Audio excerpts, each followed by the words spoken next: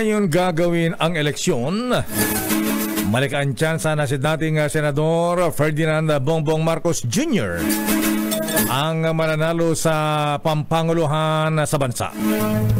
Ito ay kung uh, pagbabatayan ang latest survey ng uh, Social Weather Stations SWS na ginawa noong January 28 hanggang January 31.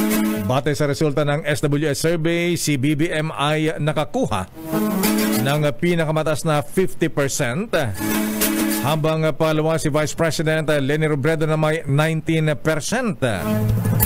At nagtabla naman sa third place si Manila Mayor Isko Moreno at Senator Manny Pacquiao na may tig 11%. 6% naman ang noka ni Senator Ping Lacson. Samantalang uh, less than 1% ang nako naman iba pang presidential aspirants. Sa Presidential Race, nanguna naman si Davao City Mayor Sara Duterte Carpio. Nakakuha ng 44% at pangalawa si Senate President Tito Soto, 33%. Pangatlo sina Senador Francis Kiko Pangilinan, 10%. At sumunod si Dr. Willie Ong na may 7%. Samantalang si Congressman Lito Atienza ay nako naman ng 2%. Ang iba pang vice presidential balls ay nako lamang ng mababa sa isang porsyento. Ang latest survey ng SWS ay kinmisyon ng Strat-based ADR Institute. Naniniwala naman ang presidential aspirant na si Senator Manny Pacquiao na hindi accurate ang mga presidential survey. Katuwiran nito, 2,400 lamang ang ma-respondent sa mga survey, samantalang 65 million ang bilang ng mga butante. Yan man sinabi ng senador, hindi kailangang itigil ang survey dahil tiyak namang hindi magpapadala ang publiko sa mga resulta. Samantala, magdodoble kayod si Pacquiao sa pag-iikot sa mga barangay at mga komunidad para mas makilala ng mga butante. Target ng senador na makuha ang boto ng Class D at E na anyay nasa 46 hanggang 48 million ang populasyon. Ngayong araw, mangangampanya si Pacquiao sa lalawigan ng Rizal.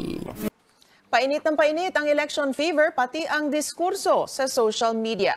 Ang mga kandidato naman, kanya-kanyang gimmick sa panunuyo ng mga botante sa kabila ng pandemya. Magbabalita si Paulo Barcelon. Pinaramdam ng mga taga-suporta ni Vice President Lenny Robredo ang ibig sabihin ng katagang kulay rosas ang bukas nung araw ng mga puso. Kabilang sa mga nakilahok sa inorganisang aktibidad, mga differently abled, mga miyembro ng LGBTQIA plus community, at maging mga guwapo for Lenny. Idinaan sa biro, memes at mga sulat kamay na karatula ng mga Lenny Kiko supporter ang pakikiisa sa kanilang tandem, pero may ilang naging emosyonal nang makalapit sa kanila. From Lenny! Salamat, salamat. Ingat ka, ingat ka. Di naman pahuhuli ang mga taga-suporta ng karibal ni Robredo na si Bongbong Marcos. May ilang nagdadala ng larawan ng dating diktador na si Ferdinand Marcos at ang kanyang asawang si Imelda. Game din sa pagpapaselfie si Marcos at mahilig din siyang makipagkamay sa mga nakakasalamuhan niya sa mga motorcade. Ganito rin ang eksena sa tuwing magagawi sa motorcade si Manila Mayor Isko Moreno. Panay kamayan at papicture sa artistahing kandidato sa pagkapangulo. Inikot muli ni Yorme at ang kanyang partido ang Laguna. Pero kapansin-pansing may benda ang ilang bahagi ng kanyang kamay at braso. Uh, baliwala yung mga sakit niya sa hirap na dinaranas ng tao. Yung mabigyan lang natin sila ng uh, kaligayahan, uh, makamayan, masaya na ako. Uh, Binabantayan ko maigi yung kamay niya kasi palala ng palala. Kasi nga, bawat motorcade natin, marami lumalapit sa kanya, minsan nakakalmot, yung mga sing-sing. Bago ang campaign period, di mahulugang karayom ang nagpupunta sa mga event ni Senator Manny Pacquiao lalo't may ipinamimigay siyang pera. Ngayon, hanggang piktura na lang muna. Kung ang iba gusto ng maraming tao sa mga campaign event, ang tandem ni na Senador Ping Lacson at Senate President Tito Soto mas gusto ang maliliit na pagtitipon. Paniwala nila, mas nagiging disiplinado at organisado kung mas kaunti ang pumupunta. Pero hindi lagi itong nangyayari tulad na lamang ng dumugin sila sa Quezon City at sa Davao del Norte. lang baka maging super spreader kasi pag tumotorcade, mahirap awatin o i-control yung tao na nasa tabing daan eh.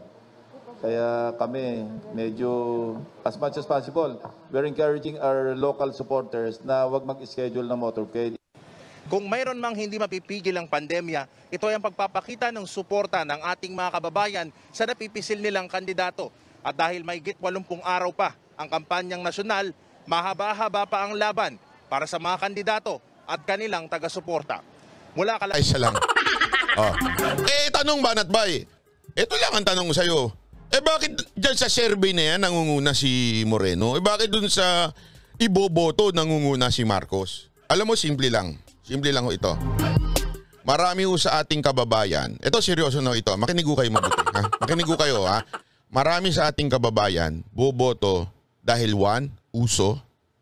Two, dahil mananalo nandyan pa rin ho yung ganyang klaseng thinking ng ilan nating mga kababayan. Hindi sila boboto dahil sa ginawa ng tao o sa accomplishment ng tao.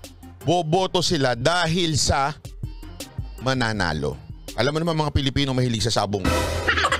Mga Pilipino magal- mahilig sa pustahan yan. Kung sino yung mananalo, yun ay boboto nila. Para masabing hindi sila talunan. O, totoo, di ba? Huwag daw tayo mag-real talk ko ito. Kayo mga Pilipino, kaya nyo iboboto isang presidente kasi sa tingin ninyo mananalo. At ayaw nyo matawag kayong talunan, kaya doon kayo boboto. Yan o ang maling thinking. Alam mo kung bakit? Ha? Paano nangyari yan? Tignan nyo kasaysayan natin. Sino yung mga binoto natin? Yung mga sikat. Ah. Nasa tingin natin mananalo. Oh, hindi tayo bumoboto dahil sa ah, ito ay may talagang nagawa. First time lang natin ginawa noong 2016 na kung saan eh binoto natin yung merong nagawa. 'Di ba? Si Pangulong Rodrigo Roa Duterte. Kaya lang ngayon, dahil sa dami ng propaganda ng mga kalaban, ah, naniniwala tayo na malakas itong isang ah, junior na ito. Ito lang ang sasabihin ko sa inyo. Isinuka na natin lahat ng kanilang ah, pinag, mga trapo ng mga politiko. Isinuka na natin yan, isinipa na natin sa Malacanang yan noon. Tapos ngayon, babalikan natin. Anong tawag sa'yo? Di ba? Isinuka mo na, inilabas mo na. Kakainin mo uli. Oh, di ba kadiri? Anong halimbawa niyan? Ito halimbawa niyan. Kumain ka sa pinggan. Kutsarain mo, tinidorin mo. Kasi subo mo. Yan ang tawag sa inyo mga boboto uli. Doon sa kandidato na yon. Bakit? Itinapo na natin yan, isinuka na natin yan, inilabas na natin ng sistema natin yan sa bansang Pilipinas. Tapos ito na naman tayo, kakainin natin. Oh. Ay nako, kayo, ito, kadiri man bang ang aking analogy pero yan ang totoo. Wala na mas kakadiri pa ho sa pagbotos sa dating sinipa na natin. Dati ho nating ah, ini- inilabas sa ating bansa. Tapos ito na naman. Ni wala nga substance yung kanyang pangako, iboboto natin. Alam mo nga, dahil nga, number one, uso, pero sa tingin ko palaos na. Pangalawa, dahil sa ano, eto'y mananalo sa tingin natin. Propaganda ho yan. I'm telling you that's only propaganda. Pag tingnan nyo yung mga sorties o yung mga motorcade ni ni Pangulong Isko Dumagoso, Moreno, kita nyo naman, di ba? Kitang-kita nyo naman yung kanyang mga sorties. Talagang yung mga tao nagiiyakan. Naglalabasan ng mga bahay. At hindi ho pare-parehong kulay ng damit ha. Halatang, ah, halatang ah, kinalat. Nagakot, nagbasbus-bus-bus. Oh, eto ho'y talagang lumabas ng bahay nila. Yung iba, lakahubad pa nga, wala pa mga damit. Lumabas at sumulat sa mga papel para ipakita yung suporta kay Yorme. Marami ho. Yan yung silent majority. Kaya lang, lagi nga sinasabi nung iba, eh baka manalo si Bongbong Marcos. Eh bahala ho kayo. Talagang mananalo yan kung iboboto ninyo. Oh, pero kung ayaw nyo ng ganyan at gusto nyo ng bagong, ah, tunay na bagong politika sa Pilipinas, si Yorme yan. Sigurado tayo dyan, si yan. Ngayon, anong? Banat ba? Eh, asan na si Robredo? Ewan ko, nashoot na ata sa Inodoro. Eto, tingnan natin ha. Asan na ho ba si Robredo? Eto, eto. Isa pang, ah, isa pang napaka-importanting lumabas ngayong araw din na ito. Oh, oh. Sabi dito sa data analytic ah, firm Splat Communication says latest survey result. Sabi ng ah, according sa result nito ha, shows stati- statistically impossibility for BP Le- Lenny Robredo to catch up with Marcos with less than 3 months left. Sabi dito, malabo daw na makaabot pa si Robredo. Kaya, eto lang mga kaibigan. Kayong mga Robredo o pingka, pingkihan, alam nyo yan sa puso nyo. Malabo nang umabot yan. Kung ayaw nyo talagang manalo etong si Marcos, wala na kayong choice kung hindi mag-switch to isko na kayo.